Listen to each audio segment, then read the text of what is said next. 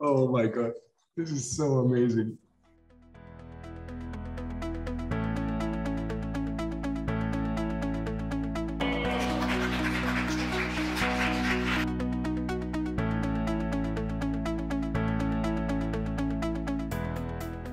I cannot thank you enough, and um, I'm deeply, deeply honored.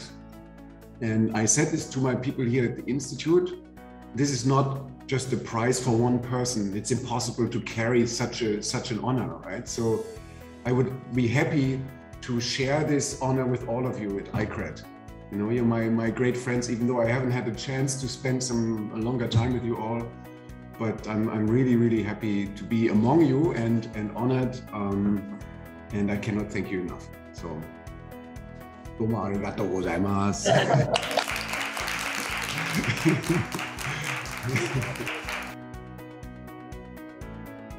My message is always the same, and thanks for asking this. It's a very simple message. It's not a revolutionary one, but it's a very important one. And this is follow your enthusiasm. Do what you really love to do, and don't anticipate the outcome or don't don't get attached to the outcome. I was never, you know, doing any of what I did for a Nobel Prize. And I do this because I love my work. I love what I do in the work. And if you realize, actually, this work in the lab or this work at the computer, hmm, it's kind of interesting, but it doesn't make me happy. Maybe it's a good idea to do something else that you really love. I think it makes it will make you a happier person, right? So that's my message.